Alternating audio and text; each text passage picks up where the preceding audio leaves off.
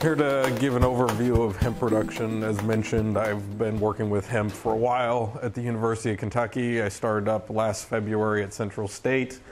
Um, and so, really trying to get this established as a crop for the state of Ohio. Um, and so, we're just going to cover a little bit about what the crop is, um, it's got a lot of unique things with it that's very different than any other crop that you're going to encounter out um, uh, in Ohio or anywhere for that matter. It's a very unique plant. And um, so, with that comes a lot of challenges, but it also makes it very interesting to work with. Uh, so, this is a hemp plant. Uh, a lot of people see it and they think uh, marijuana plant, and there's a reason for that. They're actually both cannabis sativa plants. Um, taxonomists differ on how many types of cannabis there are, but um, legally there's just one. And so it could, they could look identical. Um, it used to be thought that, okay, you could tell grain and fiber type hemp plants from uh, marijuana plants just by how they were being produced, how they're being grown, and there's some accuracy in that. Uh, but a lot of what we're actually uh, people are growing for in the U.S. at the moment is for the cannabinoids, and those are medicinal compounds produced in the flowers, and those are produced in the same way in the in fashion as uh, THC or tetrahydrocannabinol, the intoxicating component of cannabis. And so uh, we'll talk more about that as we go along, uh, and how you actually determine the differences between the two. But um, just a quick overview of the plant itself. It's what we call a summer annual, meaning it's an annual plant. It um, uh, grows up during the summer versus being in the fall, the spring or the fall. Um, most of its active growth is during the summer. It can get anywhere from 3 to 15 plus feet tall, depending on the variety that you're using. Um, and that comes down to really the type of application you're looking at um, for growing the plant for. Um, it is only distinguished from marijuana by the level of the THC in it. Um, its closest relative is actually hops. Um, they're, um, that's a, kind of a distant, somewhat distant relative, and there, those two, there's nothing really even close to them. Um, so it's a very unique plant. And it has a long history of use by humans. It's, we've got artifacts um, made with hemp that date back over 10,000 years from Europe and, and China and places in Asia. So um, it's had a long history of use, um, but it's uh, had a very complex history in the U.S. Um, in colonial times, it, uh, hemp production was real common. Uh, it was a central commodity during the uh, what we call the age of exploration, when countries were sending out ships to colonize new areas um, and start essentially starting um, uh, new colonies leading to new countries. And that was because it was a critical component of the ship rigging, as well as the uh, fibers um, were used. So the fibers were used in that rope for the rigging, as well as the canvas on the sails. And so it was an essential commodity and a key commodity during that point in time. And so most colonies actually were established with hemp production in mind. Um, it was produced until the mid 1950s in the, the US. And then in the 1970s, the Controlled Substance Act came around and um, it included a provision while it exempts hemp fiber and non viable seeds um, for grain. Um, it includes viable seeds and all leaf material uh, under the definition of marijuana. And so that makes it very difficult to grow a plant if you don't have a part of a plant or a seed to start with. And so that was effectively a prohibition against the crop, even though it wasn't um, necessarily its direct intent per se. Um, with that, um, other countries kept growing hemp. There were some countries that had banned hemp and they were coming back to it, um, such as Canada and Europe. And in 2014, um, there were states that were really looking at okay, why are we not growing hemp when we're importing all this material from foreign countries? We could be growing this um, in the U.S., giving American farmers another crop opportunity instead of uh, just having to rely on international sources for this kind of material. And so there was a research program that began in 2014 with that Farm Bill. um, distinguishing hemp from marijuana. And so, with that, uh, we're able to do research into hemp.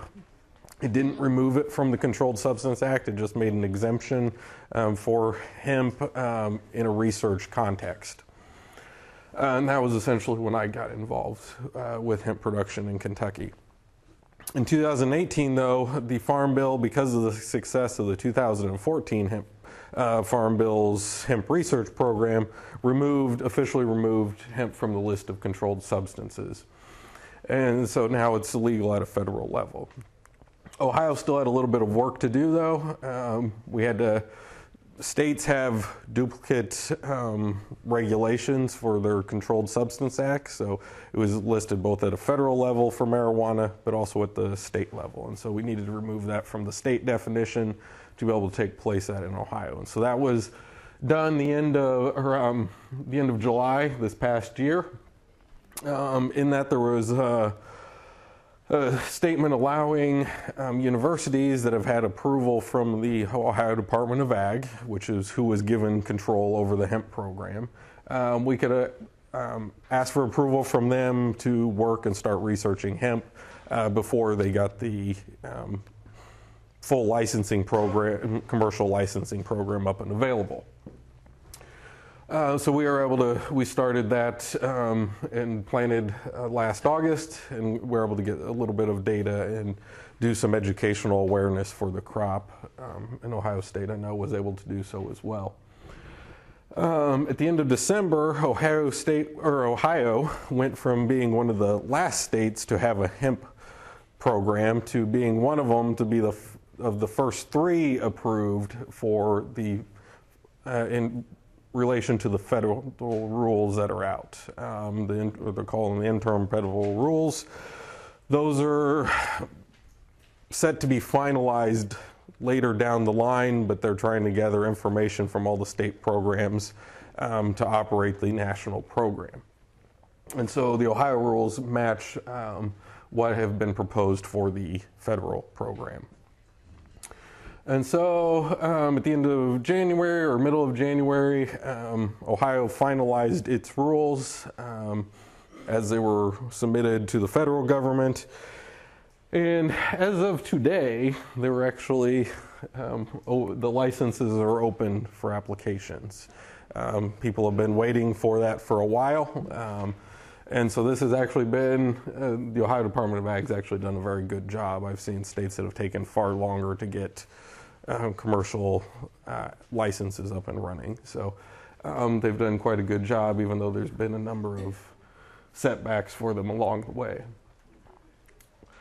So this is uh, looking at how we differentiate hemp from marijuana. And so I mentioned at the very beginning uh, that it's due to this, the content of the THC. Uh, and so anything with less than 0.3% THC classifies legally as hemp both at a state and federal level. Anything more than that still classifies as marijuana. And so this is a just a question to see everybody's input. Which of these plants is hemp and which of these is marijuana in here? Anybody have an idea? No. Nobody could tell the difference. Those are actually all hemp plants. You can see the differences in how they look. Um, there's no way to sit there and look at the plant and say this is a hemp plant, that is a marijuana plant. So the only way to to uh, differentiate hemp from marijuana is looking at that THC level, um, having samples collected and analyzed by a laboratory. Uh, and so that's uh, something that's a little, or actually quite unique for this crop. You have to have um, the, the plants sampled to make sure they're compliant um, with the regulations. And so, you know, most people don't like chemistry, but this is a plant that if you're going to get into working with it, you need to at least understand some basic chemistry. And so, one of the things we have here is the plant itself makes this compound called te- delta 9 tetrahydrocannabinolic acid, or THCA for short. And when you heat that, so that's what the plant makes. What we're regulating is this THC over here. So what happens is, um, particularly during the heating process, but some storage and other factors play a role, as well, you get this loss of this carbon dioxide group, and it goes from a relatively non-intoxicating cannabinoid into an intoxicating cannabinoid. And so it has this potential, um, this THCA has this potential to be an intoxicating component. And so um, when the state of Ohio was setting up its regulations and following the new federal guidelines, it went with what we call a total THC approach, which means you do take the amount of THC plus the amount of THCA in the plant because the plant's naturally producing, uh, you only have very trace levels of this oftentimes in fresh plant material because this decarboxylation is not happening in the plant most often, most of the time.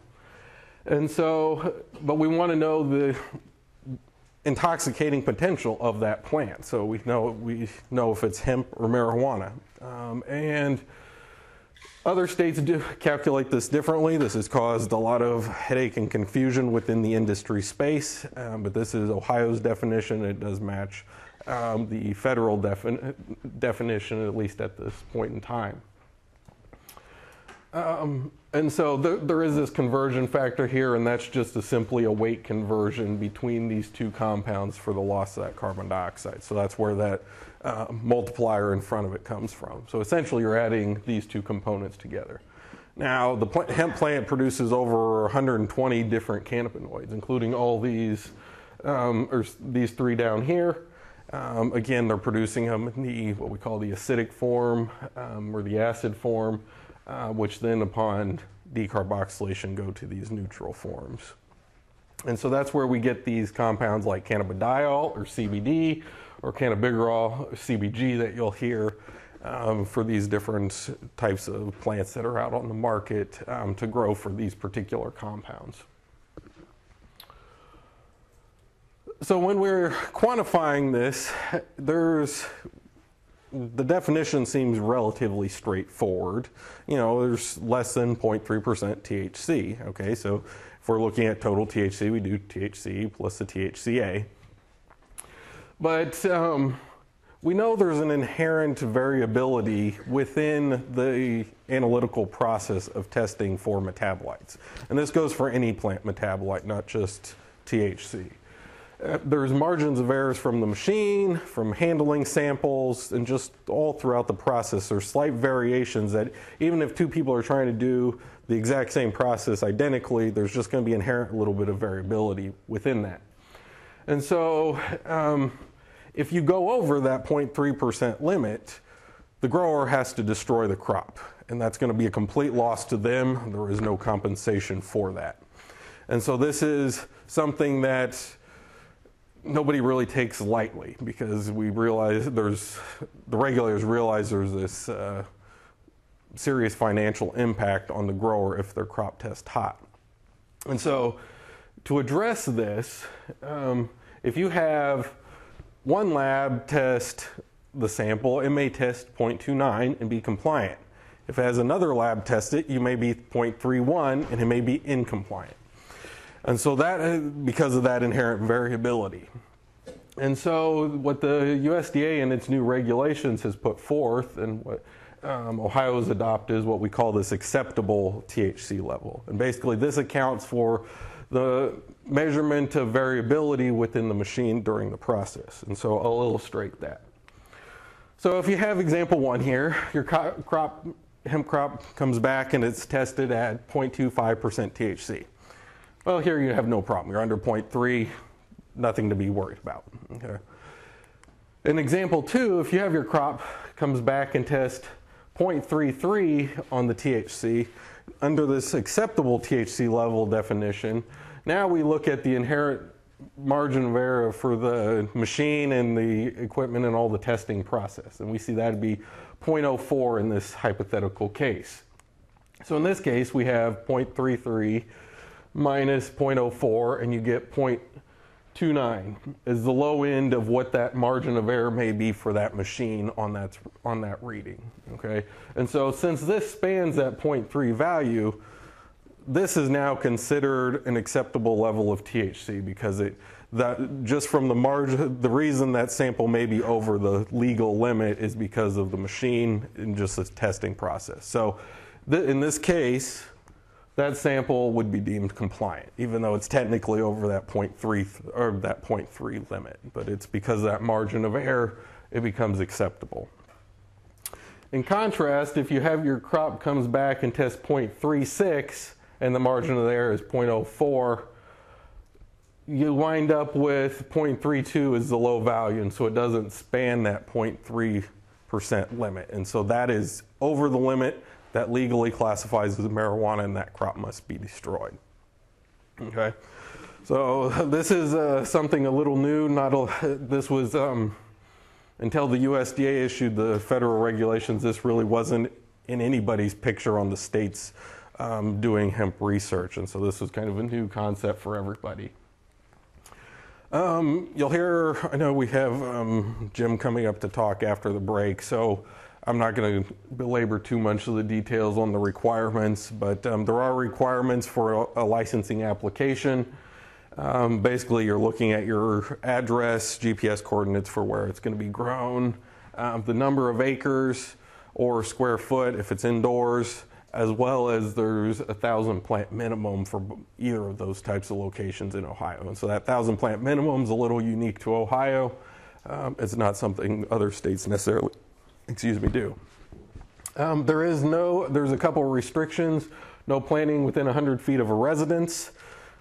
Uh, no fi- planting 500 feet of a park or a school, or within a half mile of a medical marijuana cultivator. Uh, the medical marijuana cultivators are all indoors, but they were concerned about um, pollination of their material, which would run the value of their medical marijuana uh, products. Um, the residency, these are requirements that people like, where do these come from, and wondering where, where they, uh, why we deal with them. Within the residencies, because um, some states have a number of issues with uh, people trying to grow a few hemp plants in their house, and they don't want to have to have the state agents going into people's homes uh, to test things. And also, it really becomes difficult to tell a hemp plant when sampling if it, it, you're going to have plants that look like marijuana growing inside. Um, so they wanted to keep it out of people's houses. Um, so the, um, a number of states have adopted a minimum distance. And then um, hemp has a number of pests, but one of the premier pests is a very two legged kind. Um, and people walking off with hemp growers' plants thinking it's something else, or even not thinking it's something else, and just stealing these high, high value plants. And so, uh, if you're near a park or a school, you tend to have a lot of high school, middle school students that really don't know the difference between the two and just asking for a whole bunch of problems. So there's a distance away from them to avoid that issue so that that's really for everybody's benefit to have that minimum distance there. A general timeline for hemp production. Um, this is a very general timeline for the on the regulatory side, um, but usually the applications are going to be open November 1st to March 31st. Um, this year, because of the late start of the program, I believe the email said they were extending them to May 1st this year because of the delays and not getting them open till today. Um, 15 days prior to the harvest, so there will be a planting report submitted saying that you planted X number of acres or square feet, a number of plants. Um, there's other reporting requirements that go along with that. Um, but 15 days prior to the intended harvest, you're going to submit an intent to harvest report to the ODA. They're going to come and say, okay, we need to collect samples to make sure this crop is compliant. They'll come out, collect those samples, um, at which point you could either harvest or wait till it comes back to harvest. Um, they'll give you an okay if it's an acceptable level, then um, that crop could be sold. If it doesn't, um, and for some reason it fails, a secondary test could be ordered, although that costs um, additional money because they have to send people back out um, to re- recollect samples and stuff again. But that is an option. If that second test fails, though, then that crop will be destroyed. So we're looking at all this, and you're probably wondering why are we going to all this headache? Um, And the reason for that is there's a lot of uses for hemp. Um, well, there's three major crops. There's uh, it could be grown for fiber, which is what a lot of people think of when they hear hemp. Could also be grown for grain. Um, it's got a very nutritious seed. Um, and, then it also could be grown for the non-intoxicating metabolites, so the CBD or the CBG uh, within the plant that have potential medicinal values or other value. And so overall, there's an estimated 25 plus thousand uses for the plant. And so there's a lot of options that could be potentially done with this crop. Um, it's viewed as a very quite sustainable crop. And so um, with the movement towards sustainability, this is a really um, a key interest. And so there is an inherent value associated with having hemp in the product. Uh, with the flowers, this is just um, a little bit about the three major crops. So for metabolites, you're looking at the flowers. Um, this is a male flower. This is actually one individual female flower. People typically, within the industry, they call the whole thing the flower, but that's actually an inflorescence. Um, one individual flower is this little bract, and they have these little two little pistils coming out of this. And you notice all these little white dots on the outside of that bract. And those are what we call trichomes, and that's where those cannabinoids and terpenes are being produced. And so that's really what we're after. And so the highest level of those is on female flowers. And the, to maximize production of that, you try to avoid pollination with the male plants um, so as to maximize the continued growth of those female flowers and the swelling of those trichomes um, instead of shifting that towards seed development seeds, if, you, if the crop gets pollinated, you get seeds. Um, these are very nutrient dense, they're high in a lot of vitamins. Um, they've got a very balanced uh, fatty acid profile of omega 3s, omega 6s. So they're very healthy seed um, on the fat content, a lot of antioxidants in them. Um, it's an easily digestible, high quality protein. So, overall, it makes an excellent food source. Almost all the grain at this point in time really goes into food products. And so, you'd be handling it like you would be handling a food grade crop. Um, so, there's going to be little more, you're going to want to make sure everything's handled a lot more cleanly than you would just say with your corn and soybeans. That's going to more likely wind up in animal feed. Uh, and then the longest and oldest use for the hemp crop or hemp plant is for the fibers, and so this is what we call a bast fiber plant. Uh, this is where the fi- that means the fibers come from the stem, and here you can see the long fibers pulled away from the inside of this woody core, um, which we call the hurd. Um, so the, the hurd's got a composition fairly similar to a, a very light woody stick. Um, it's a very light material, but it has a composition of just similar to wood. But this fiber on the outside is very high cellulosic content, which um, and very high purity, um, 75, 85% cellulose. And so you're getting something that's a very strong fiber. Um, and that's really what the interest for industrial applications is. And so, um, one of the common uses for the fiber is in car parts, is actually using them in car uh, panels because it could provide that cellulose um, fiber, could provide that strength similar to you would with a fiberglass, but at a fraction of the weight. And so you could keep that higher fuel efficiency while reducing, uh, while maintaining that structural integrity of the vehicle. Um, so, not so many American cars at this point, but foreign cars in particular use a fair bit of hemp fiber in their production. Um, so again, so that was the overview of like kind of three major crops: the fiber, the grain, and the metabolites. Um, come on. We do have what I call supporting crops for this, and this is either certified seed, non-certified seed production, or clones. And so this would be um, people growing material that would support the hemp farmer. So, like you're being growing um, seed uh, for grain, or, um, not grain, sorry. Uh, the seed would be for planting, the clones would be for planting metabolite crops. I'm not going to cover those in much detail, those are a little more specific examples. Um, when we're talking about hemp, there's some differences in terminology. You'll hear what we call cultivars or varieties and what we call strains. And strains is not really typically a botanical term, but it's widely used within the cannabis space. Um, cultivars and varieties, those are like what you think of for any um, plant, where they've been traditionally bred to a high level of genetic uniformity, so you know what you're going to get when you plant that, that seed out in the field. Strains, on the other hand, are genetically very unstable. They're just somebody's crossed something, they like that plant, so they're going to sell it to you as is. Um, typically, these are all going to be for metabolites, whereas your cultivars are going to be either grain or fiber types. Um, and so that strain terminology comes actually out of the um, marijuana industry, and that's because all the genetics for this essentially derive from marijuana.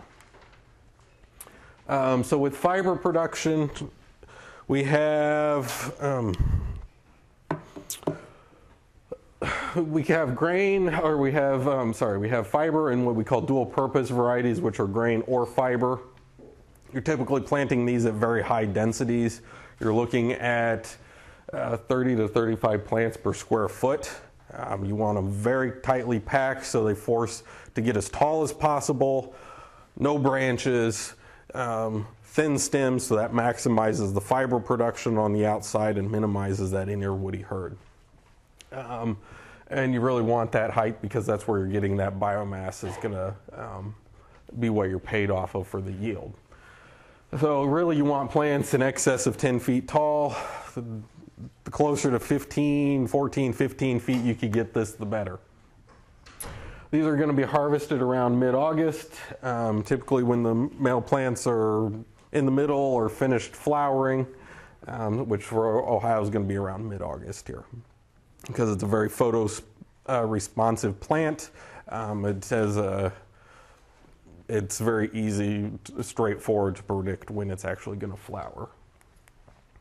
Once that fiber um, stalk has been cut, they're going to um, usually that's with a sickle bar or um, uh, some type of cutting implement similar to that.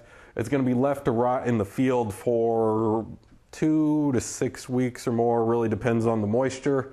Uh, for a process we call retting, which is essentially a controlled rotting where we allow bacteria and fungi from the soil and the air to land on the plants and decay that, um, partially decay that stem to loosen those fibers from that inner woody, inner woody hurd. Um, and so that makes it easier for the decorticator to process, so that'd be the processor for it. Um, currently, there's low demands and low returns um, for fiber because there's a lack of infrastructure. That's our big problem with fiber at the moment. Is there's not enough companies uh, processing it. Um, it takes a lot of money to get it involved in fiber processing, and it takes a long time to pay that equipment off um, for this type of crop. Um, we don't have the best varieties suited to U.S. production at the moment, um, but again, our biggest uh, issues with infrastructure. For grain, here you could use grain or these dual purpose varieties. Again, those could be used for fiber or grain. Uh, most of those are coming out of Europe, um, although some come from Canada. This is where you're actually actively trying to get the grain. Um, so you're going to have males and female plants in the field. You're going to plant about half the density you would for um, fiber, so about um, 10 to 15 plants per square foot. Uh, this is, and you don't want the plants to get as tall. Um, you still don't really want bushy, but you just don't want them to get as tall um, and have as much competition so they can develop that full flower head. Really, you want plants about five to six feet tall. Anybody got an idea why you don't want to go over about six feet tall with a grain plant? Yes, that's exactly the problem. Um, it found Kentucky found out very early on that first year tried doing grain production. There was at least two different combines caught fire um, and literally burnt up because they tried to cut it at the stalks at the base of the plant and run the whole material through. Well, even though this is being grown for grain, it is still a fiber plant. Those fibers wrap around gears of combines and will literally stop them. and you have to get in with razor blades to cut those off. Um, they get wrapped up around things. So the best way to harvest for grain is to actually go right below that grain head, and you have to be able to get that the grain head on the combine up high enough to get right under that grain head. Um, so you can minimize the amount of uh, grain running, th- or minimize the amount of stalk material running through um, to avoid those tying up issues. You also have to go very slowly, even with that, because um, the plants are susceptible to shattering the seed. And so the plants are going to, to avoid that problem, you don't harvest when the plant's fully mature. It's only partially mature at that point in time. Um, the rough value people throw out is about uh, 70%, although there's a lot of debate on whether uh, that's uh, the best recommendation or not and what 70% actually means. But that means you're going to have green, true, fresh green material going through there. The, this grain head's going to look very similar to this when it's um, actually going through the combine. It's going to be very green and leafy and wet. Um, the grain itself is going to be anywhere from 12 to 20 plus percent moisture on it. And so you have to go very slow um, just uh, because of all that wet material as well. Um, one of the tricks with uh, the grain is it's a little different than other grain crops is because of its high polyunsaturated fats in it, those omega 3s, omega 6s, um, it could go rancid real quickly. And so it needs to be, even though it starts out very wet, it needs to be dried down um, consistently. Not necessarily fast, but it needs to be dried down at a, consistently um, and put into a drying system right away. And we're looking at a dra- grain system that's not one of those that propane furnaces that you feed it in one end and it comes out a, li- a few hours later dry out the other end. Those shad, those will split the seeds and run the seeds in, in a separate, different, may, different way. Um, so they need to be put under forced air um, with some heat, but it's going to be a slow heat to just dry it in the grain bin, lots of agitation um, to keep from developing hot spots within that bin. Uh, there's pretty strong demands and good returns at this point for it. Um, uh, the grain's one of the more successful markets at the moment. That's pretty much what we're buying. We're still buying a lot of material from Canada to fill that particular market. And a good yield for uh, grain production, we are shooting around that thousand pounds an acre mark. Um, it's not uncommon to go less than that, particularly the first year or so. Um, trying to grow grain crop, um, some places further north where it's a little drier have gotten in excess of that. Um, uh, the main challenge with grain is the shattering issue. Um, you could lose a lot of grain very quickly. Um, and by quickly, I mean you could lose tens to 50s of pounds of seed per acre per day if it's caught at the wrong time. So you could lose a lot of grain very quickly off the plant. Um, so if it gets too dry and you get a strong rainstorm or a windstorm come through, it will dislodge a huge amount of grain.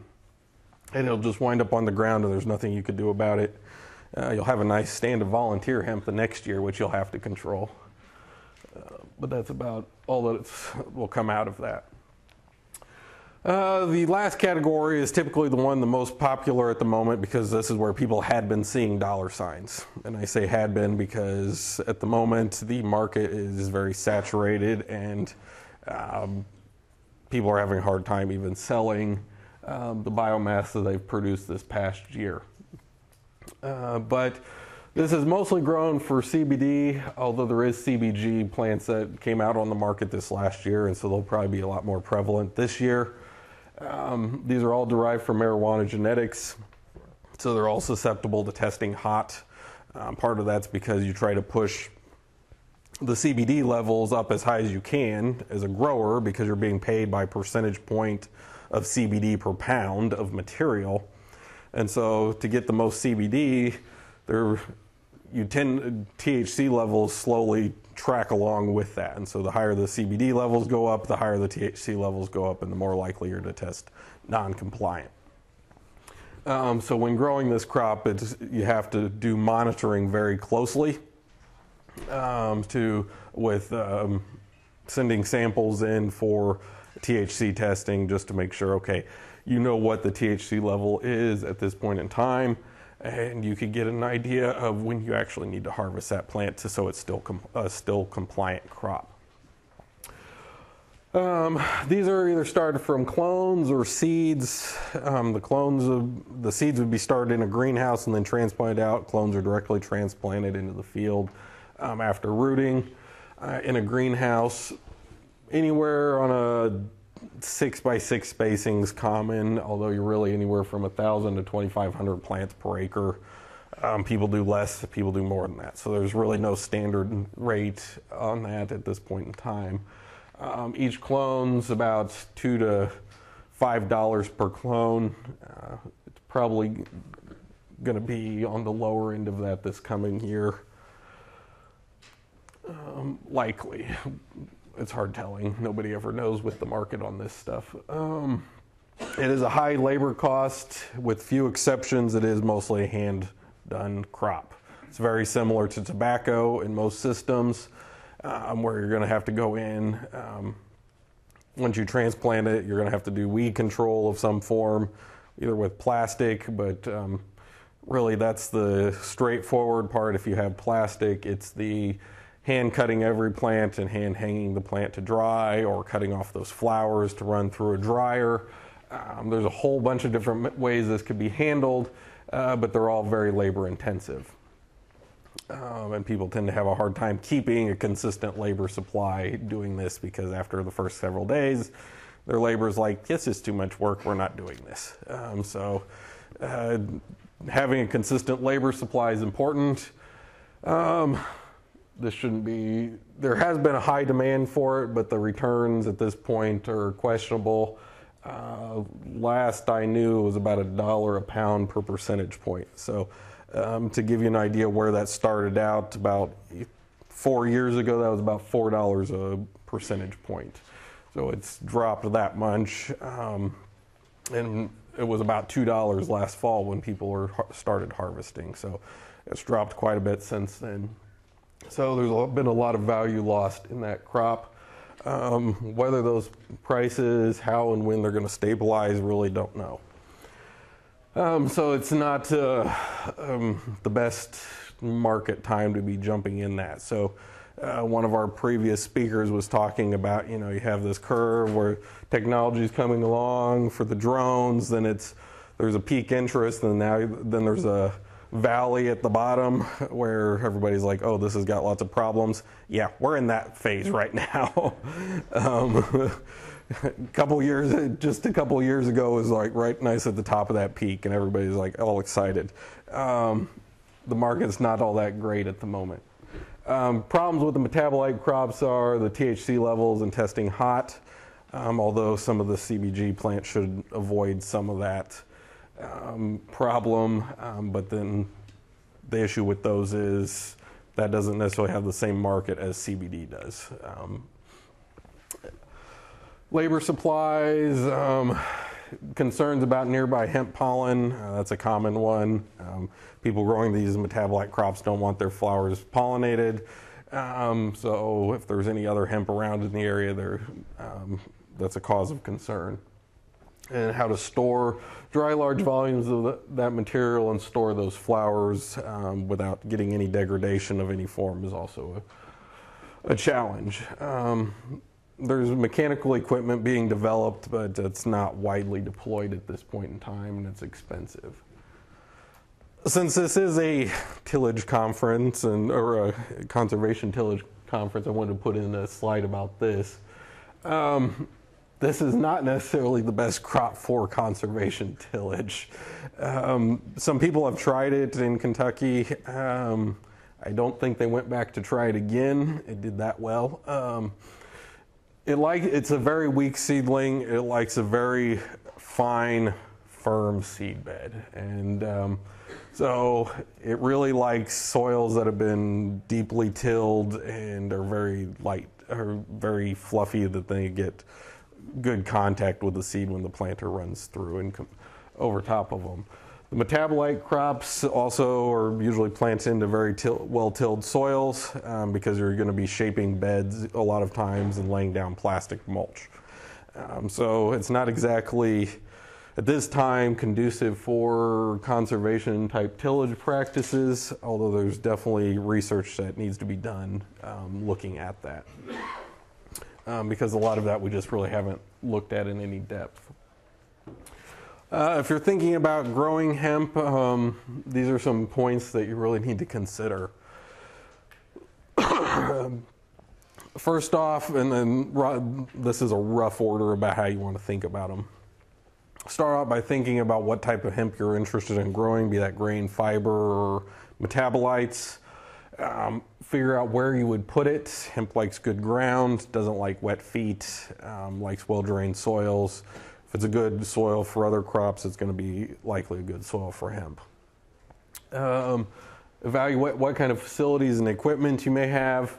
Um, because those are going to dictate how much you need to plant. Um, you don't want to plant more than you can handle. Otherwise, you could lose money very quickly, and a lot of people have run into that problem, not realizing how much space um, hemp plants could take. Uh, one large hemp plant for metabolite production for drying can take up to 16 plus square feet, cubic feet of space for drying. You don't get a lot of plants in an area with that much space. Um, you may even want to go wider than that because you need good ventilation to keep those plants from uh, getting mold and stuff while drying. Um, determine the type of uh, the amount you want to plant. Um, going back to those what facilities and equipment you have and the labor you have access to. Um, find somebody to establish a contract with for that crop. Um, it's going to be hard to get contracts, particularly this coming year. Uh, but those contracts solve a number of issues. One, you know you're going to have a buyer for that material. The other part is you also know what that particular buyer wants not every processor wants their plants the same way. They'll dry them differently. They'll um, process them. How they process them is different. So they're um, they want specific varieties. They want specific harvest dates. There's a lot of things that'll be specified by a particular processor and that'll be unique to them. So it's also very useful in that regard to know what they specifically want from from you figure out um, some of that will help figure out what strain or variety you want. Um, expect challenges. Everybody has challenges the first year with this plant. Nobody's an exception to that rule. Everybody's still learning about this plant. There's a lot we don't know. Um, it's very plastic to its environment, um, and so it does a lot of things that you would not necessarily think a plant's going to do. Um, develop a financial plan. Um, this is really comes down to everybody's particular operation. There's no necessarily set um, guidelines for this. The University of Kentucky has a good website. If you go to the University of Kentucky hemp, um, just type that in. I'll take you to their main their hemp web page, and um, down at the bottom of that page, there's a place where you could have access some Excel forms to plug in numbers um, for what you think you can make off the crop and how what your different types of expenses are. Go do that um, because you're the only one that's going to be able to figure out whether this is going to be right for your operation or not. Yeah. What do they buy? Do they buy the whole plant? Depends on the processor. Um, if you're selling for grain, you're going to be selling just the grain. If you're selling for fiber, they're going to buy bales of that retted fiber. They're buying for floral material. It could be just the flower. It could be the whole plant. It could be whole plant without the stalks. This is where those contracts come in because every processor has different things they're going to buy. Um, and what one processor wants is not necessarily what the other one wants. So um, that's a good question. Um, once you've figured all that out and you still think, okay, I want to try growing some hemp, uh, go get a license. And um, you're going to have to have a license, report all those coordinates. Those coordinates, I for, should mention, it's not because the government just wants to control everything you're doing. Those coordinates are actually used by the, or collected by the ODA, so they know where the fields are. And then they could give those num or those locations to the state police so when they fly over in their unmarked helicopters, they don't land on your property thinking you have an 10 acres of weed growing out in your in your back property. That's not a good day for anybody. so those GPS coordinates are for your benefit that those are being reported. They're giving them to the people that need to know that information or are going to find out otherwise on their own in a less pleasant manner. Um, and that that happens. so um, that's what there's a lot of things with that, um, and I'm sure you'll hear more about that from the next speaker. Um, some final things: uh, if you're doing when you do a contract, have a lawyer or somebody with experience evaluate that. Um, there's all sorts of different variations, and they're not all good, and a lot of them still have that'll get drafted have lots of problems. So have somebody with legal experience actually look over and help you with it. It's worth the investment. Um, start small. It takes some effort to figure out um, all the what this crop likes. It's a very fun and rewarding plant, but it is very unique, and so I do recommend start small. Um, usually an acre for metabolite material, or maybe five, ten acres of grain or fiber, something along that lines. Once you get that done, your first growing season, feel comfortable with it, then you could scale up um, as you have that experience. Um, good stand establishment is needed to avoid weed problems. Um, if you don't get that, it will be a weed. There will be weed problems. Um, and hemp does have some pest problems and disease problems, and I need to change this. As of about a month ago, there is some, uh, a very, very few pesticides labeled for hemp. Um, they're not what a lot of people would consider the most effective type of pesticide. So um, essentially, a lot of it's going to be grown very organic type system uh, just by the nature of not having sufficient pesticides for the for the crop. Um, and none of those are herbicides. Um, there's still some issues with banks and financing being worked out, although this is getting better. Um, and there is um, always this chance of a crop failure. A year like this past year, which was real wet, would, is awful for hemp. It does not like that standing water, so that will kill it very quickly. Um, and then there's a lot of charlatans within the space selling um, seeds and clones. And so you really need to vet who you're working with um, so you know you're getting good quality material um, to start with. Uh, we are going to, Central State's going to host an event next week for anybody interested. We have a flyer. Um, Dr. Cindy Folk back there has them on the table. Um, we're having a networking event where we're getting um, some processors together. They'll have some tables, and then um, prospective growers can come in and network with them and try to develop um, those contracts and those agreements uh, for for producing the crop. Um, so, let one of us know if you want more information about that. Uh, if you want more information in detail about the production side, we have an extension bulletin we just put out, and we also have an extension bulletin we just put out about those um, getting started with the crop. So, those things I was listing through about how to go about getting started with hemp production. That goes into more detail there. Um, so, with that, I think I might have a little time for a few questions. Yeah. So, um, with that, does anybody have any questions? So do they have to have, be under the THC level no matter what species or what uh, purpose they're using it for?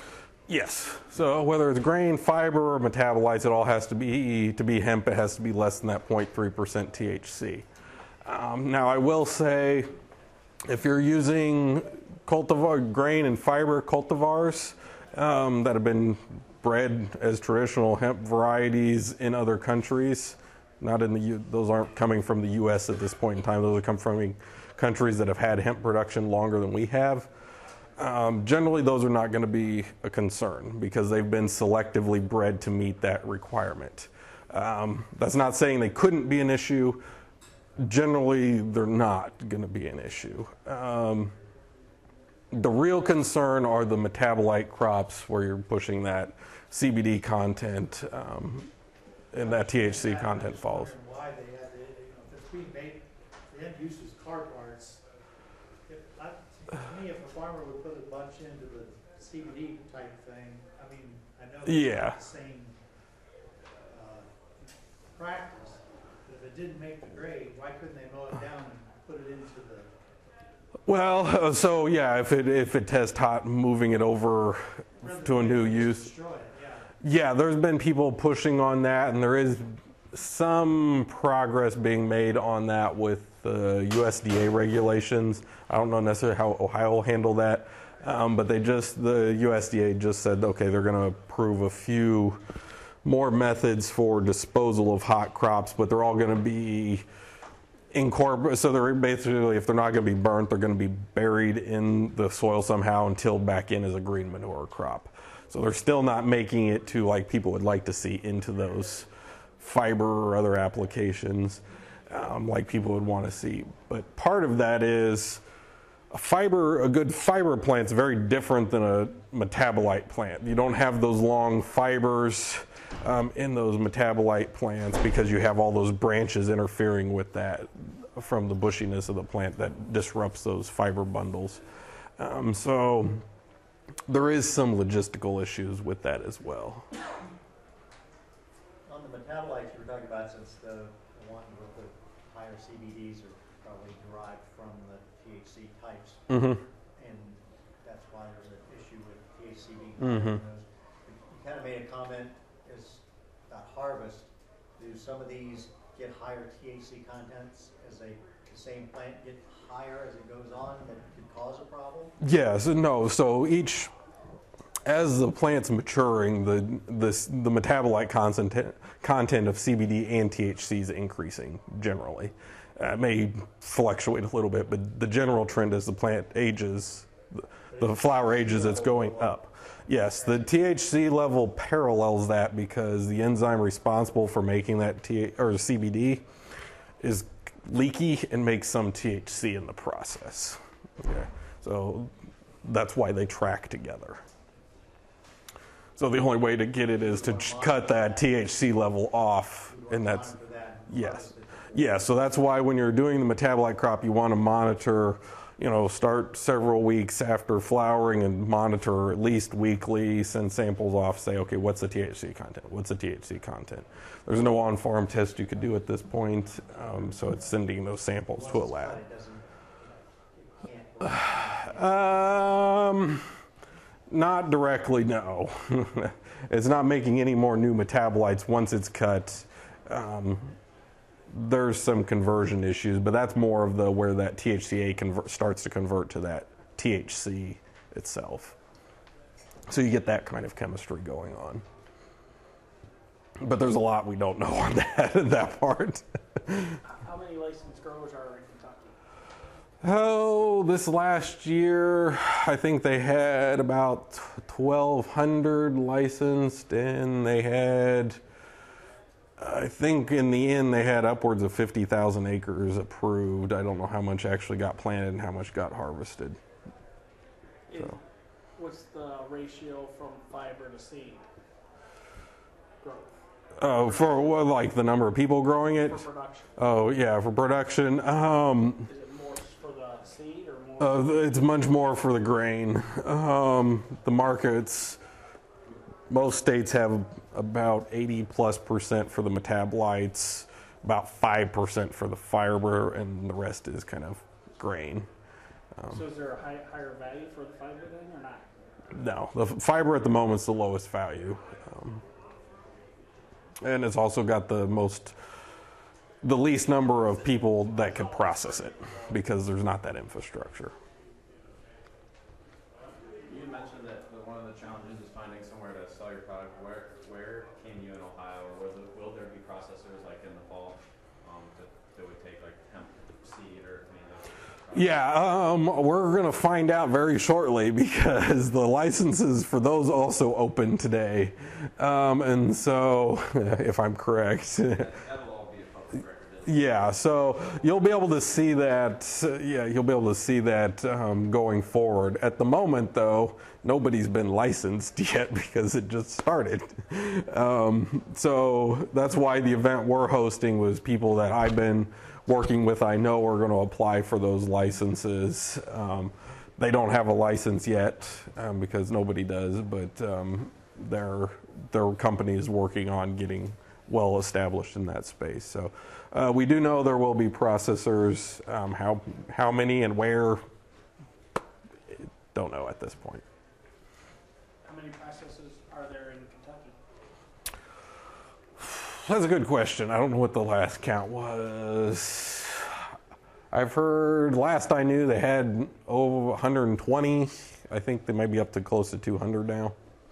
Um, although they did have one very big processor just go bankrupt, so that uh, put a put a big damper on the industry because that company had contracted, I think, about 10,000 acres worth of material. So. So yeah, just a contract doesn't necessarily mean people are safe. um, yeah.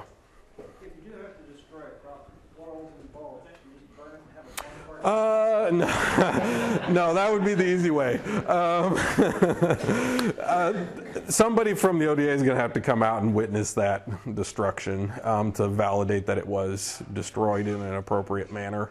Um, so I'm sure Jim could give you more details on that. But um, yeah, I, I, for the longest time, the irony there was, you know, the only way to destroy it was to burn it, and uh, you test it, it tested hot, and classifies it as marijuana, so let's burn it. Um, uh, I love the irony in that one. I always have. Um,